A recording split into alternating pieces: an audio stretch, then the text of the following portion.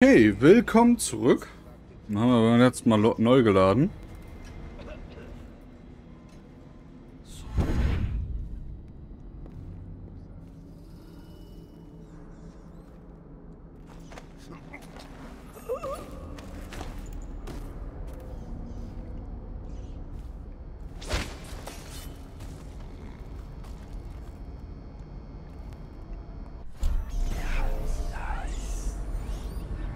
Will dieses scheiß Gemälde haben. Ganz ehrlich. Was? Warum sieht er mich?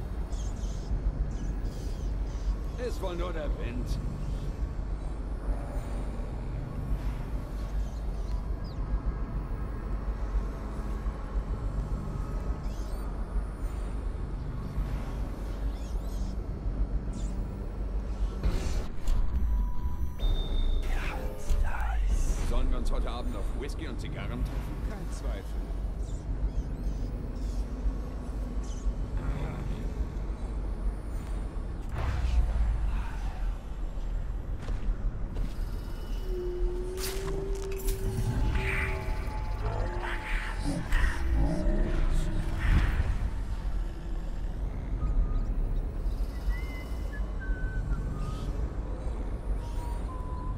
Hey,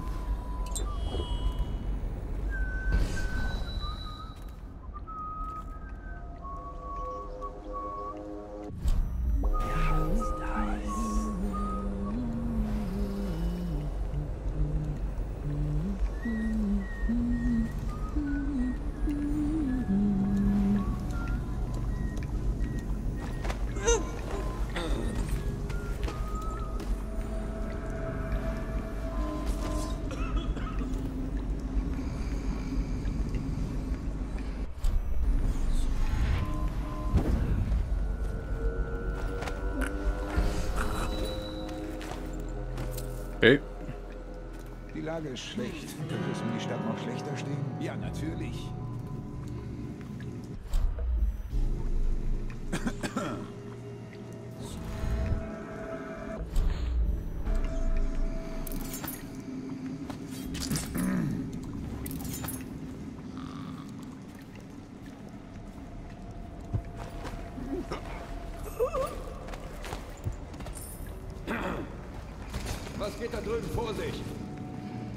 Ganze Ort ist vor die Hunde gegangen.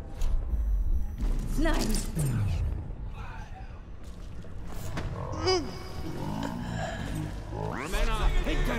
Oh, ich bin schon wieder aufgeflogen. Hast du schon aufgegeben? Ich werde dich finden und dich für deine Verfehlungen bestrafen. Wer immer du bist. Was ist passiert? Hast du was vor den Kopf bekommen? Überall nachsehen.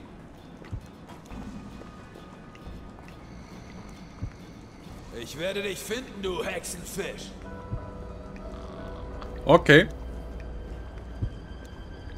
Ich weiß, dass du hier irgendwo bist. Na gut, diesmal hast du Glück gehabt. Wir wissen, dass du hier bist.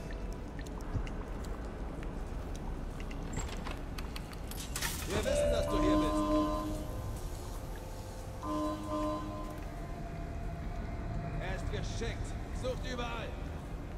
Gut.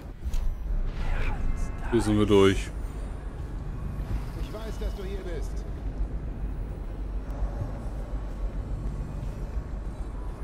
Wenn ich dich finde, hast du nichts zu lachen. Der Orden bildet keine Dummköpfe aus. Hier ist jemand. Ach, der Orden bildet ganz viele Dummköpfe aus.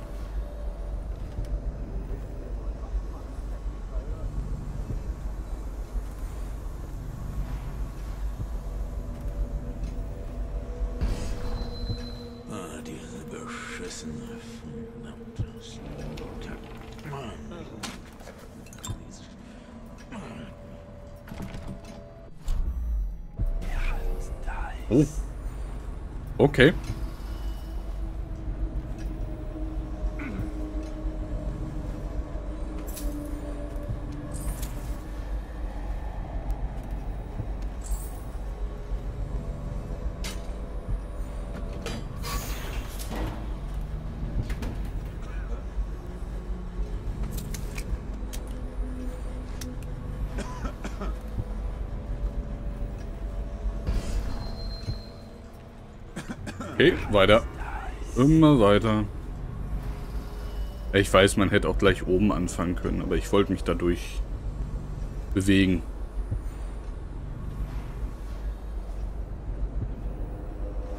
Meine Hoffnung ruht auf Formel 25, die in Verbindung mit einer Hitzetherapie, die mir letzte Nacht im Traum erschien, großes Potenzial besitzt.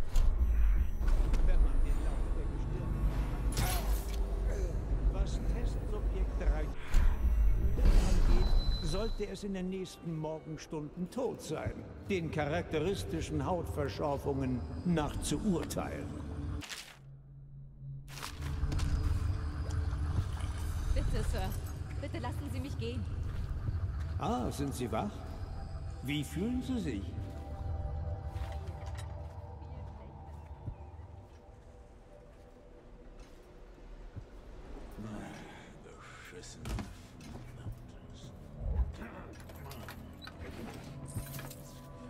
Das ist nun meins.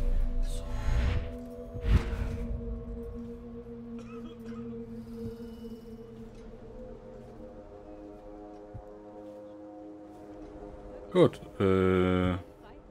Moment. Muss kurz einmal Dinge tun. Das wird gleich ein bisschen doof aussehen, weil hier... So. Zack. Wieder da. Ähm. aus dieser Zelle zu holen. Vielleicht am späten Vormittag. Aber diese Schmerzen. Können Sie mir nicht etwas gegen die Schmerzen geben?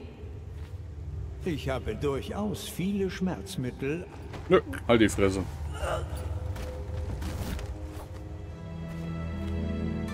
Oh, bitte nicht mehr.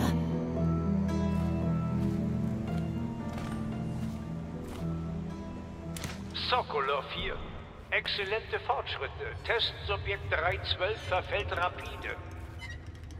Vorhergesagt, sorgen die Formeln 12 und 17 als Gabe in einer Mischung zu einem extrem beschleunigten Krankheitsverlauf. Interessanterweise ist die Atemwegsschleimhaut befallen. Der Ausschlag brachte Pusteln hervor, graue um genau zu sein. Sie platzen auf, bluten und sind schmerzhaft. Vielen Dank. Meine Hoffnung Wer immer Sie sind. auf Formel Er hielt mich in einem 25, Käfig. Wie ein Tier. Okay. Die Schmerzen sind unerträglich. Also werde ich mich zurückziehen und gehen, wenn es mir besser geht. Wenn man den Lauf der Gestirne betrachtet. Was Testsubjekt 312 angeht, sollte es in den nächsten Morgenstunden tot sein, den charakteristischen Hautverschorfungen nach zu urteilen. Ja, dann stirbt sie jetzt wenigstens in Freiheit. Gut, dann auf zu Samuel. Wir sind hier fertig.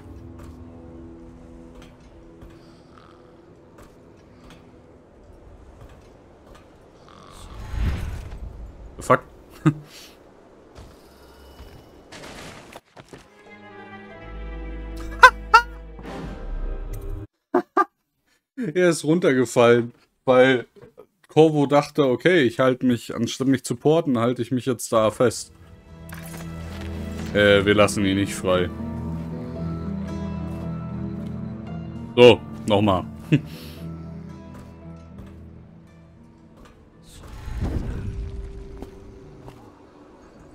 Ausschwärmen. Es gab wohl einen Zwischenfall. Wir kennen noch keine Details.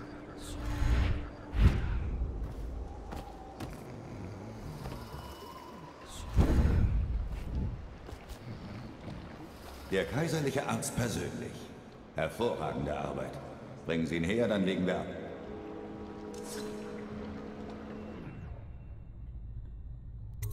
Los geht's. Ja, eine Rune fehlt uns, ein Haufen Geld. Aber Chaosfaktor niedrig.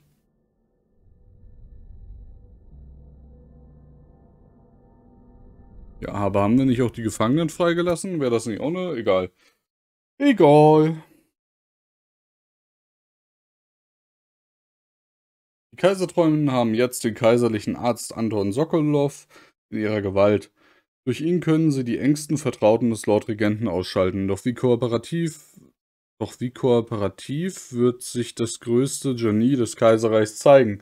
Es gilt, ihn freundlich oder mit Gewalt dazu zu bringen, alles zu verraten, was er weiß.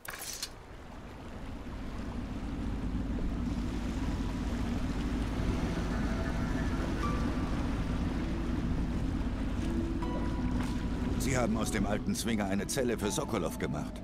Fußfesseln inklusive. Er wird geschockt aufwachen, all das Stroh, all die Hundehaufen. Aber er ist wohl schon an schlechteren Orten aufgewacht. So wie wir alle. Ich glaube ich nicht. Also, so schlecht bin ich noch nicht aufgewacht.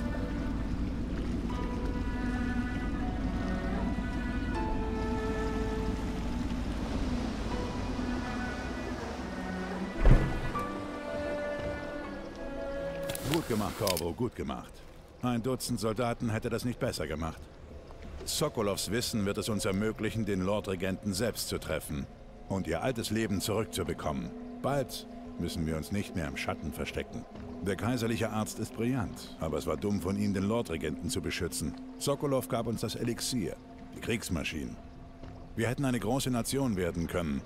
Jetzt zahlt er den Preis dafür, einen Tyrannen unterstützt zu haben. Mein Dank gebührt Ihnen, Sir. Wenn Sie sich ausruhen möchten, wäre jetzt die Gelegenheit.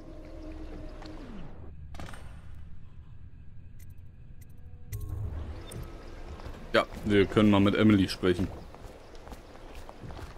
Ähm, Eigentlich bin ich Naturphilosoph, aber heute sehen Sie mich als bescheidenen Handwerker, bereit zu helfen. okay. Schleichschuhe. Machen die? Bitte sind leise. Ja, gut, perfekt.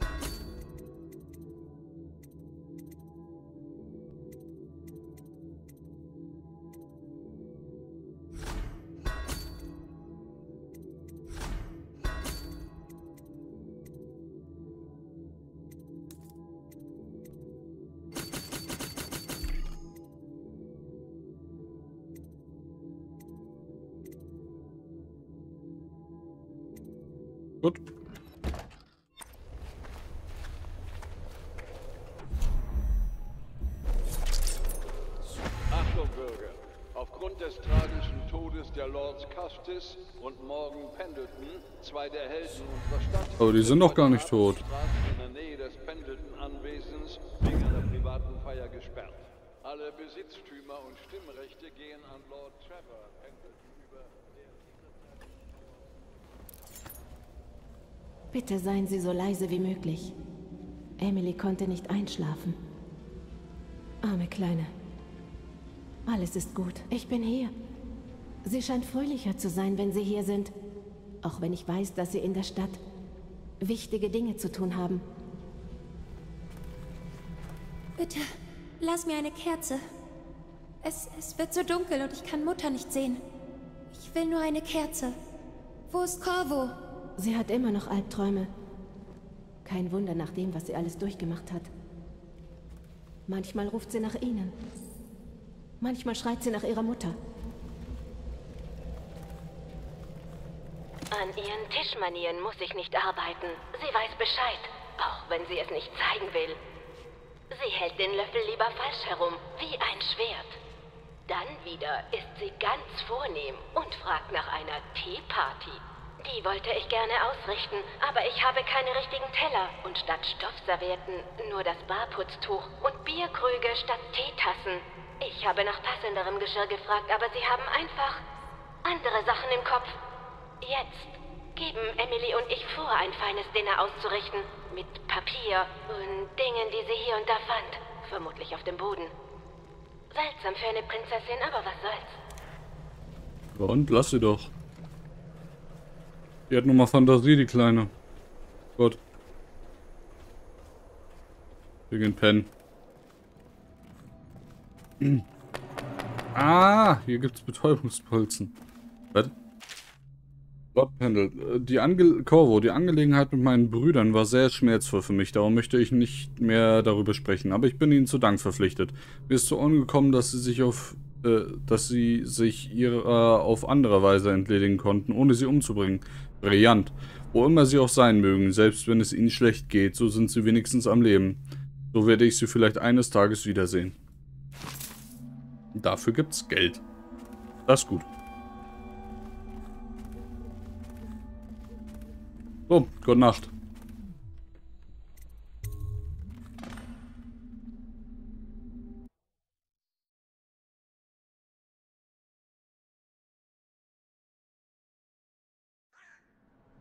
Corvo, aufwachen! Du hast lustige Gesichter im Schlaf gemacht. Ich habe beschlossen, hier bei dir zu schlafen, während Callista gebadet hat. Sie sagt, dass ich bei Ärger immer hierher kommen soll. Ja, komm. Callista holt mich, wenn sie aus dem Bad kommt. Danke, Corvo. Es geht mir schon besser. Notiz von Piero. Corvo, vielen Dank, dass Sie mir einen lebenden Wein organisiert haben. Eine unschätz ein unschätzbar wertvoller Fund für meinen alten Freund an der Akademie für Naturphilosophie. Weil lebendige, Exemp äh, weil lebende Exemplare nur sehr schwer aufzutreiben sind. Sie können sich sicher sein, dass mein Kollege die Situation so menschenwürdig wie möglich handhaben wird. Naja. Hier ist ein Bild, das ich von dir gemalt habe, ohne deine gruselige Maske. Daddy.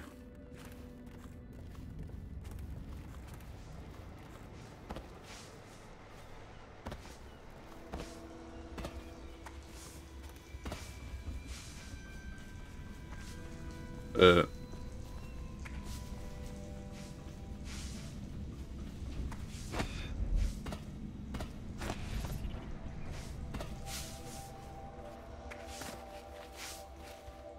Sagen Sie, was Sie wollen. Der königliche Arzt kennt seine Weinsorten. Hoffentlich kooperiert Sokolov. Ich hoffe, er würde noch einmal mein Porträt malen. Dann nur mich. Ohne seine Brüder. Kaiserlicher Arzt, ich glaube, Sie kennen Corvo noch aus früheren Zeiten. Allerdings weiß er, was Loyalität bedeutet. Ah, ich bin mir selbst loyal. Ihr jedoch verkehrt mit dem meistgesuchten Mann des Kaiserreiches.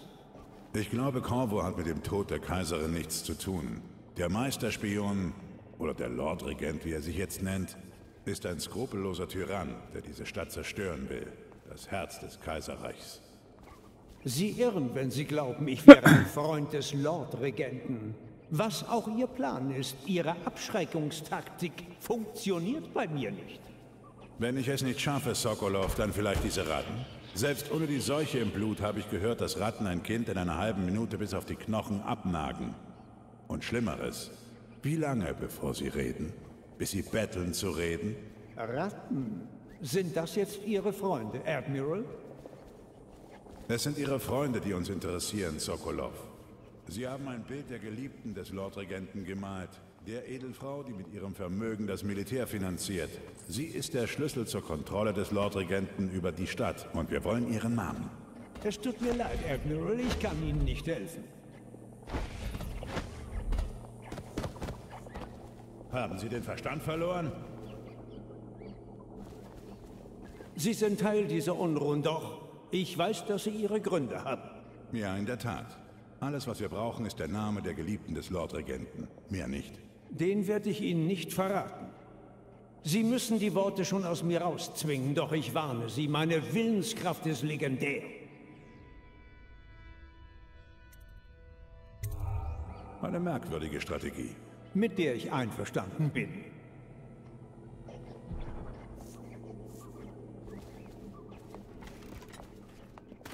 Überlasse ich Ihnen. Aber wenn Sie die Befragung Sokolovs... Gero. Hey. Achtung, Bürger von Dunwall. Der Zirkel der Aszendent. Ich weiß, wie das aussieht.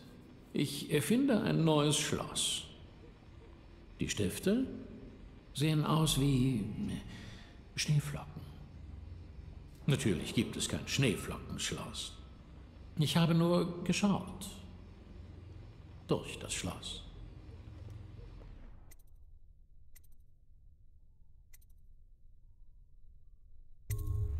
Verstehe. Nun, ich verstehe bereits alles, was Sie denken. Ich bin ein geborener Philosoph, aber das heißt nicht, dass ich nicht auch ein Gentleman bin. Zumindest versuche ich mein Bestes. Jeder weiß, dass Sokolov praktisch süchtig ist nach einem seltenen Likör namens King Street Brandy. Er schmeckt abscheulich, aber zufällig besitze ich eine Flasche. Es widerstrebt mir nur, sie ihnen für Sokolov zu geben. Sie war nicht billig. Ein teures Getränk. Eine Mischung aus seltenen pandysianischen Gewürzen und einem Tropfen Walöl. Würden Sie sie vielleicht kaufen wollen? Was kostet der Spaß denn? Keine Ahnung, was der kostet. 150. Ja, her den Schmarrn.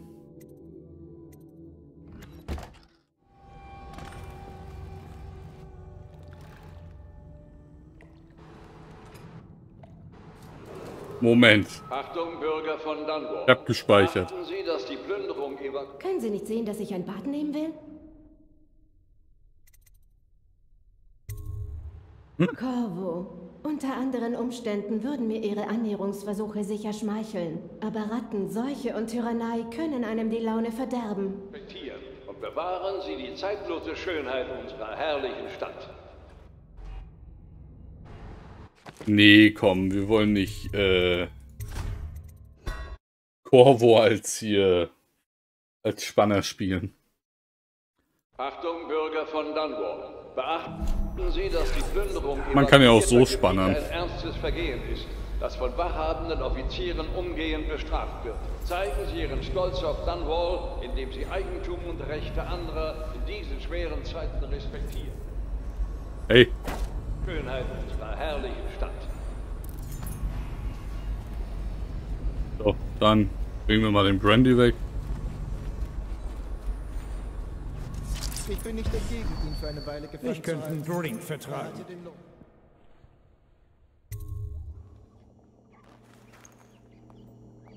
King Street Brandy? Ich dachte nicht, dass es noch welchen gäbe. Ein außerordentliches Geschenk. Ich habe es mit Männern mit Geschmack zu tun. So viel kann ich Ihnen sagen. Sie wurde immer Lady Boyle genannt. Ich habe sie gemalt, aber sah weder ihr Gesicht noch hörte ich ihren Vornamen. Sehen Sie, denn ich malte eine Rückenansicht. Sie ist dennoch ein wirklich unglaublicher Anblick. Aber ich weiß nicht, welche Schwester sie ist. Sie sollte mir heute Abend auf einem Maskenball zu ihren Ehren vorgestellt werden. Ein Termin, den ich jetzt wohl verpasse. Was? Ein Maskenball im Hause Boyle? Heute Abend? Das passt hervorragend, Corvo. Aber die Boys sind reich und skrupellos. Ihr Haus wird gut bewacht sein. Natürlich haben Sie schon eine Maske, nicht wahr, Corvo? Er hat recht. Sie könnten sich unter sie mischen, wenn sie einmal drin sind. Sie müssen herausfinden, welche der Boyle-Damen gemeinsame Sache mit dem Lordregenten macht. Töten Sie sie. Wir sind fast am Ziel. Wenn Sie das heute schaffen, können wir den Lordregenten besiegen und Emily einsetzen. Das Schicksal sei mit Ihnen. Okay. Ja, Wie ich höre, sind Sie zur Feier der Boyles unterwegs. Ich habe nur eine kleine Bitte an Sie. Geben Sie bitte Lord Shaw diese Nachricht. Sie erkennen ihn, ein eher grober Mann in einer Wolfsmaske. Und er sucht wohl nach mir. okay.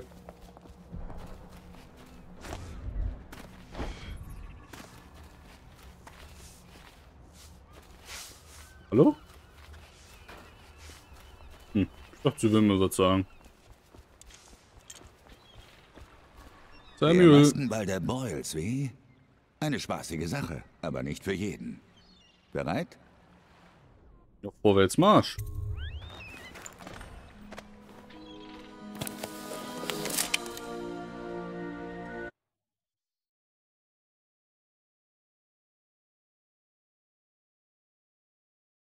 Du fandest heraus, Lady Boyle ist die größte Unterstützerin des Lordregenten, aber drei Frauen der Familie Boyle sind als Lady Boyle bekannt. Die Frau des verstorbenen Lord Boyle und ihre Schwestern. Sokolov weiß nicht, welche es ist, da er unter besonderen Umständen nur den Rücken einer Lady Boyle gemalt hat. Du wirst am Abend eines vornehmen Maskenballs zum Anwesen der Boyles geschickt, um herauszufinden, welche Lady Boyle auszuschalten ist.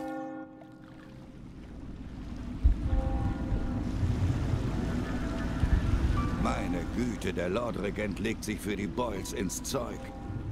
Dachte nicht, dass hier heute Tallboys patrouillieren. Pass auf, Corvo. Die verstehen keinen Spaß. Die gute Nachricht, wenn Sie es auf die Feier geschafft haben, werden Sie dank Ihrer Maske gar nicht auffallen. Genießt den Abend mit Menschen von wahrem Format. Besser ihr als ich.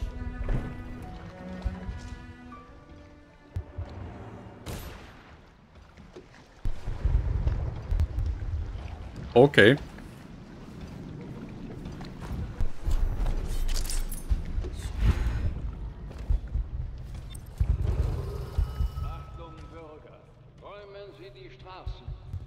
Gebiet steht auf Wunsch der örtlichen Hauseigentümer nur geladenen Gästen offen. Unautorisierte Eindringlinge werden ausgewiesen oder an Ort und Stelle festgenommen.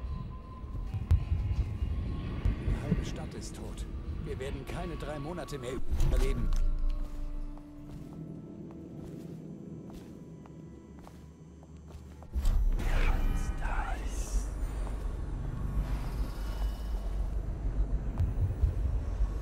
Dieser Ort macht mir... Ich werde dich schon noch finden. Komm raus! Helft mir!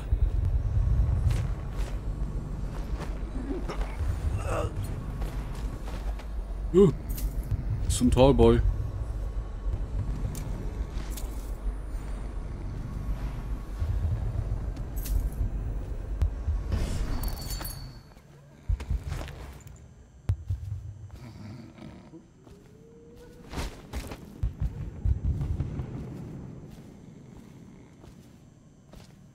Ich glaube, der steht da Wache. Hm, ich dachte, das ist ein Zivilist, der mich nicht verrät. Ah, cool. Das ist eine Logik hier, die... Das habe ich mich mal gefragt. Ich denke mal, das hier wird dafür sein, damit die ähm, Soldaten, die oben in den Tallboys sitzen, aufsteigen können, wa?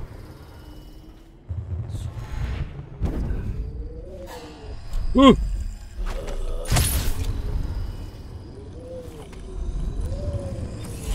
Unterwegs zu einer Feier, Corvo? Davon hast du also geträumt? All die Monate im Gefängnis von Coldridge, während du auf den Henker gewartet hast? Reichtum, schöne Frauen in der neuesten Mode, Gelächter und tivianischer Wein und dann die Gastgeberin Lady Boyle. Ich sehe all ihre Tage und weiß, entweder stirbt sie heute durch deine Hand oder sie verbringt Tage, Monate und Jahre fernab, während ihre feine Kleidung zu Lumpen zerfällt und ihr seidiges Haar stumpf und grau wird. Die halbe Stadt sieht den Lichtschein der Feier und träumt von ihren Köstlichkeiten. Wirst du das alles zerstören? Ja, klar so doch. oder so. Es wird Lady Boyles letzte Feier. Kann er mir nicht sagen, welche Lady das ist?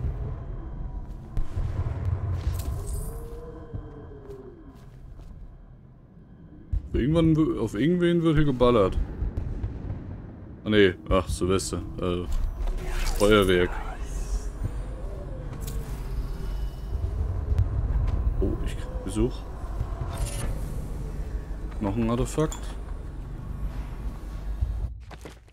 Gucken wir mal. Tränke geben dem mehr Mana zurück. Ah, da unten ist noch Geld.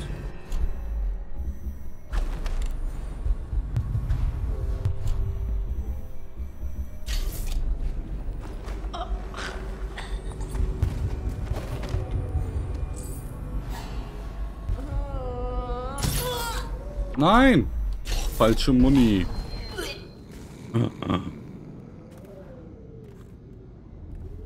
Muni verschwendet hier. So, was, gibt's unten noch? Oh, da drüben gibt's auch noch Zeug.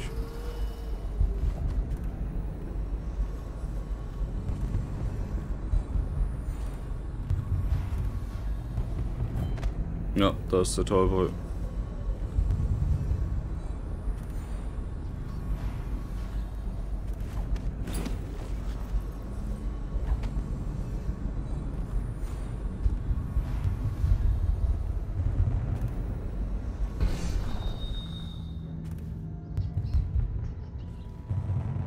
und gucken, ob wir übers Dach da hochkommen.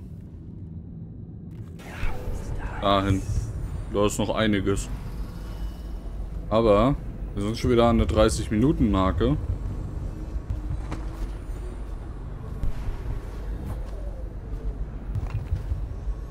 Und wachen.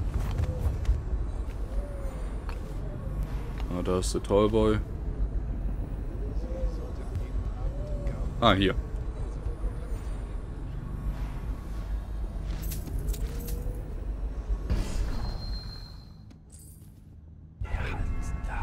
Ah, stunkel hier, ey.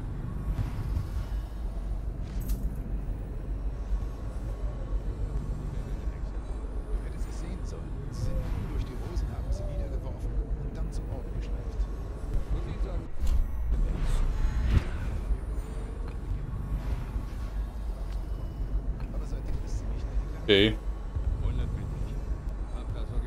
Überall Wachen. Das Gebäude ist betretbar.